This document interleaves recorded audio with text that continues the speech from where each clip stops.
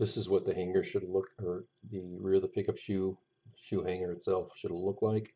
Once you've curved it, um, you'll notice that the curve is actually hanging down below the pickup shoe itself. So the next thing you need to do is bend the rear of the hanger so that it's sitting above the shoe. Otherwise, that hanger is going to be hitting the rail.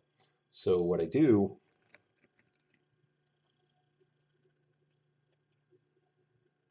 is I grab the back of the shoe just before the hanger and then I push it up.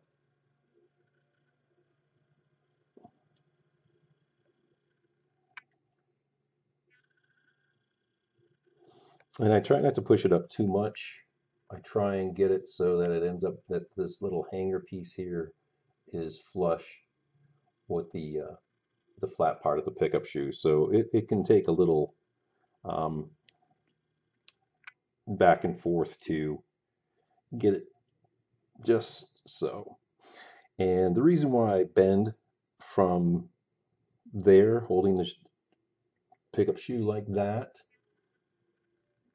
is to prevent the flat part of the shoe from bowing. If I just took this and just started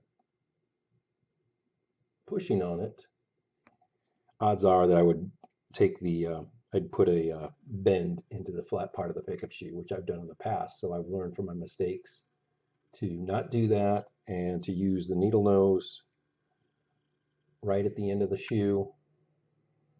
trying to get that in focus for you. And that's really it. And that's one shoe.